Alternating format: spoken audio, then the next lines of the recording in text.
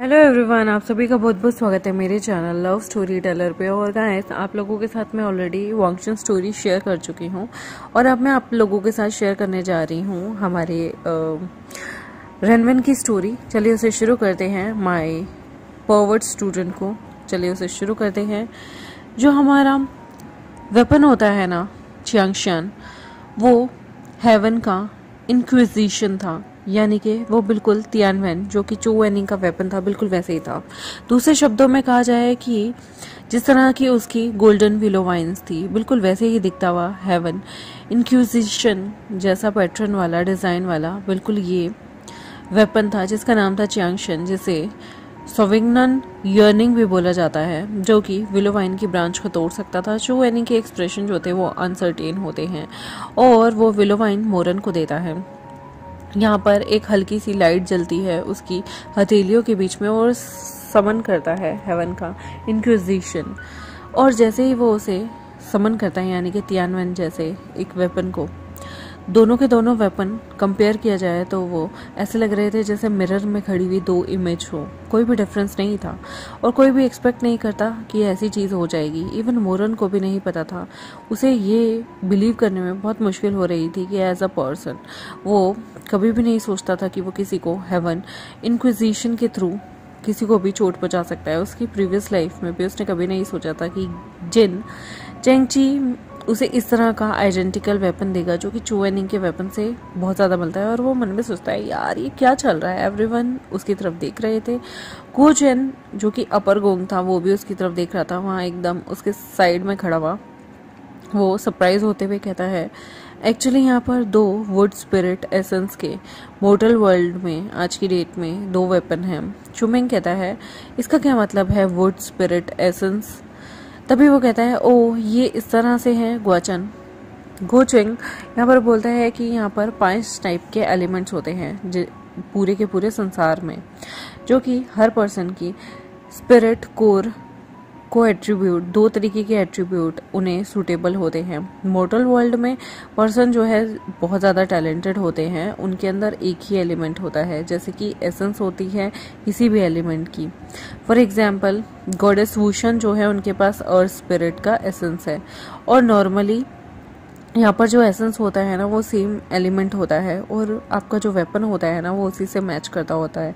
और जिनकी भी वुड स्पिरिट की एसेंस होती है, वो मोटर वर्ल्ड में भी एग्जिस्ट करते हैं। बहुत साल पहले यहाँ पर बेस्ट वुड स्पिरिट जो थी, वो वेपन यहाँ पर किसी और को नहीं, बल्कि चूहनी को मिला था। जैसे ही वो कहता है, उसका गेज जो है वो, यानी कि उसके देखने की जो नज़र थी, वो चूहनिंग पे जाती है और कहता है, जब मैंने पहली बार इस तरह का डिवाइन वेपन देखा ओरिजिनली ये कहीं ना कहीं प्लान था कि इसे फोर्स किया जाएगा।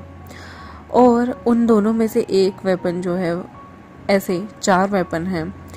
और कोई भी प्रॉब्लम नहीं होती जब इसे फोर्स का प्रोसेस होता है। Wood spirit divine weapon actually किसी भी वेपन को दो हिस्सों में तोड़ सकता है। मैंने कभी नहीं सोचा था कि हेवन की विल होगी। और मैंने ऐसे दो वेपन बना दिए थे, जो कि विलो ब्रांड से ही कहीं ना कहीं मिल खाते थे। और इम्पॉसिबल था इन दो वेपन का। सेम टाइम पे अलग अलग ओनर के पास होना, मुझे यकीन नहीं आता कि मैंने ऐसा ही एक वेपन जी बाय हुआ। आज से कुछ साल पहले ब्रॉकेट बॉक्स में डालकर किसी को दिया था। और अब मुझे नहीं पता था कि वो किसके हाथ में जाएगा बट ग्वेचिंग जो है वो यहाँ पर अपना सिर हिलाता है और कंटिन्यू बोलता है। मोरन का हाथ जो है वो अभी भी, ऐसा लग रहा था जैसे उसके हाथ से सब कुछ बर्स्ट आउट हो जाएगा, क्योंकि उसे अभी इस वेपन की आदत नहीं थी। पिछले टाइम पे उसके पास एक और तरीके की तलवार हुआ करती थी और इस वक्त उसके पास विलोवाइन है। मोरन का दिमाग बहुत ज़्यादा मैसी था और बिना सोचे ही वो अपना मुँह खोल के कहता है, ओह डैम इट चू एनिंग जो है वो उसे चुप कराना चाहता था, लेकिन अभी तक बहुत देर हो गई थी गुआचैन शिनगोंग और चू एनिंग जो है मोरन की तरफ़ देखते हैं और उन्हें दुख लग रहा होता है क्योंकि मोरन को तियानवन संभालना नहीं आता था और वो जानते थे, उसके एक्सप्रेशन से सब कुछ वो पढ़ सकते थे।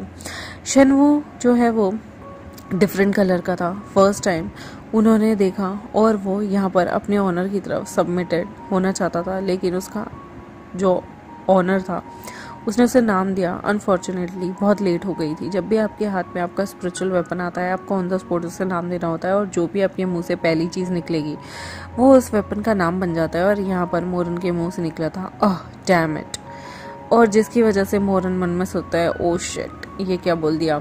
यहाँ पर शूमेंग शी में जो कि रूल्स को नहीं जानते थे कि यहाँ पर शेनवो का नाम उन्होंने क्या रख दिया है, वो समझ जाते हैं और जब ये सीन उनके सामने होता है तो जो शुमिंग होता है ना, वो अपना ज़ोर से पेट पकड़कर हंसने लगता है, उसकी आँखें भर आती हैं और वो कहता है, तुम ही ऐसी सोच के साथ निकल सकते हो। तुमने अपने वेपन का क्या नाम दिया है? ओ माय गॉड मास्टर ने तियानवे नाम दिया था और तुमने अपने वेपन का नाम अह टैमेट रख दिया। शिट मैन तुम मतलब अनप्रिडिक्टेबल हो। तुम्हें सोचा भी नहीं जा सकता कि तुम ऐसे हो गए सेंस मोरन जो है वो ऑलरेडी शेनवो को ऑप्टेन कर चुका था। शूमेंग और शीमे जो है वो अपने वेपन को चूज़ करते हैं। यहाँ पर शूमेंग ने एक लॉन्ग स्वर्ड और शीमे ने एक छोटी सी फ्लूट चूज़ की थी अपने लिए। दोनों के वेपन जो है वो इतने ज़्यादा चमकदार नहीं थे और उनका डिफरेंट कलर भी नहीं था। लेकिन यहाँ पर वो उन्हें कहीं ना कहीं लुभा रहे थे। वो सबमिट नहीं कर रहे थे उन दोनों की तरफ़। और यहाँ पर उन लोगों के लिए मैटर भी नहीं करता था और इस तरह से वो सोचना भी नहीं चाहते थे। वो गुड मूड में थे और रात के वक्त बैंकुएट वहाँ पर सजा हुआ था स्प्रिंग नाइट पवेलियन में। गुचिंग शेंगोंग जो है वो अपने साथ मॉडल्स को कभी भी नहीं लेके जाता था, लेकिन अब वो जिनचेंग पूल में उन सबको इनवाइट करता है कि वो वहाँ पर एक रात रुके और जाने से पहले वहाँ की चीज़ों का लुफ्त उठाएँ। उसके लिए उसके गेस्ट काफ़ी प्रीशियस थे। वो पहली बार एक दूसरे के साथ बैठते हैं टिप्सी होते हैं और टोस्ट करते हैं। बैंकुट के बाद गुचिंग शिनगोंग जो है वो ऑर्डर करता है सर्वेंट को कि वो उन लोग उन लोगों के लिए गेस्ट रूम खाली करवाए और उन लोगों के लिए रुकने का इंतज़ाम करवाए।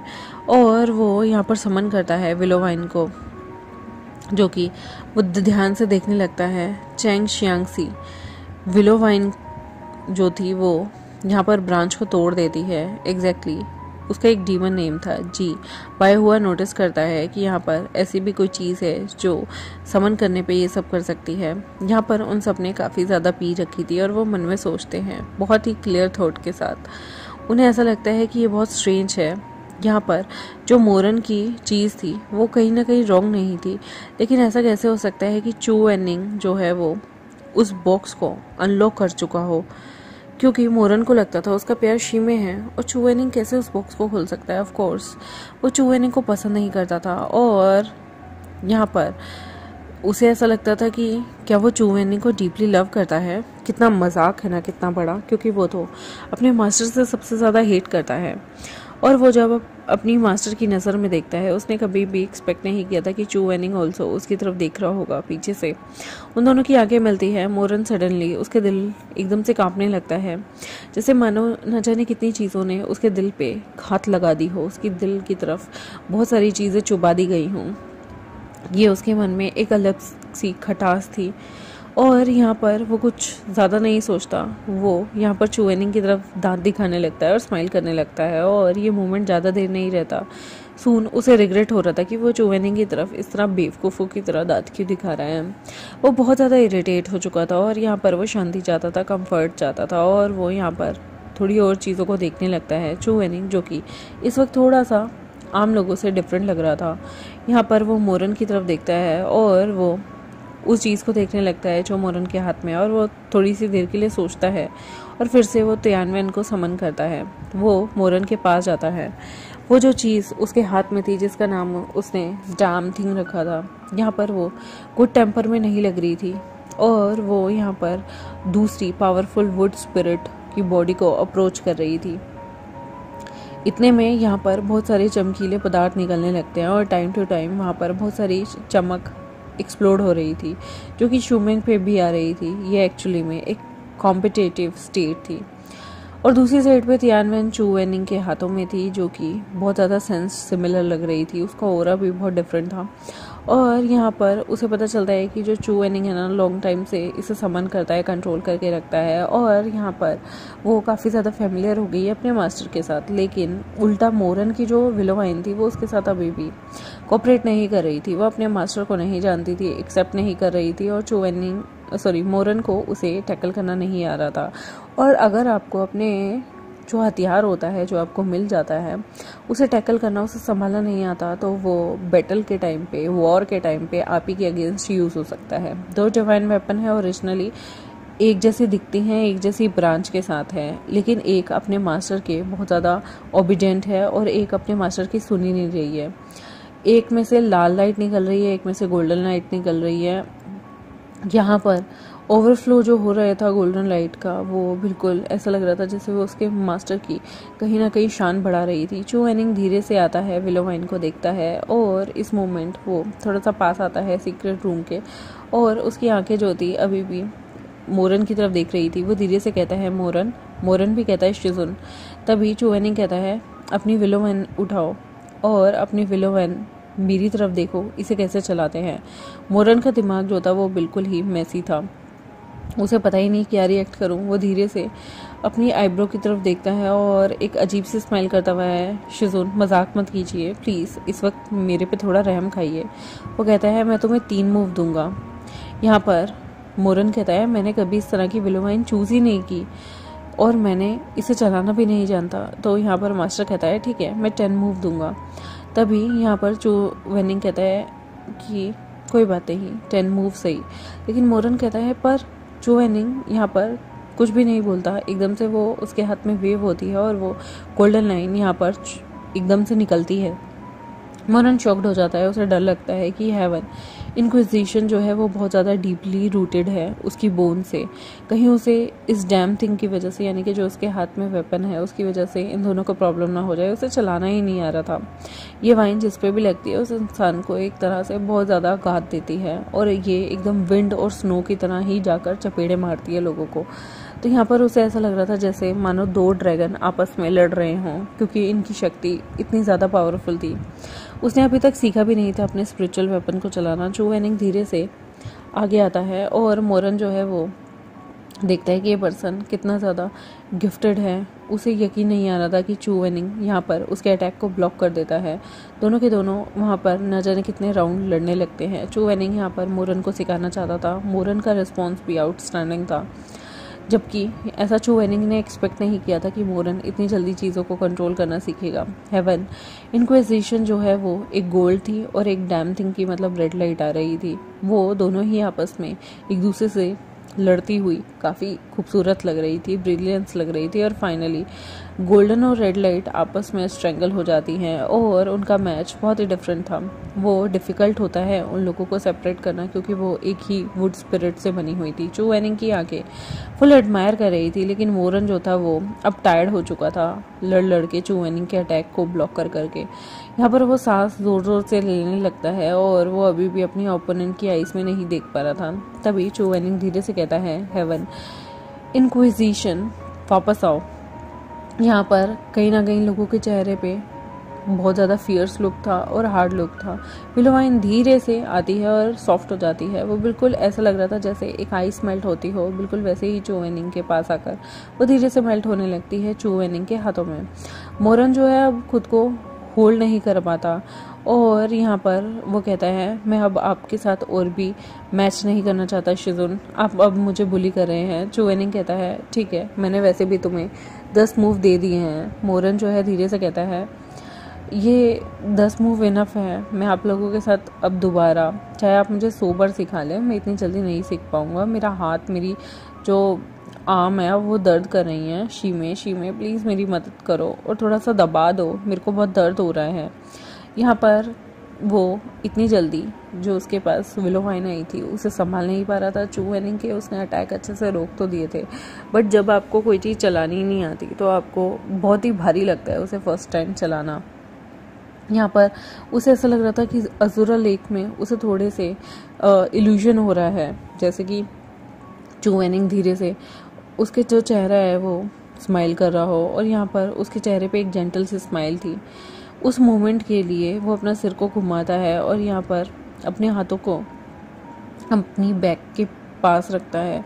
यहाँ पर ऐसा लग रहा था न जाने कितने सारे स्ट्रिंग जो हैं आपस में इधर उधर ट्री के ऊपर चल रहे हों। कौन जानता है कि कौन क्या सोच रहा है? उस रात मोरन जो है वो गेस्ट रूम में बैठा हुआ था।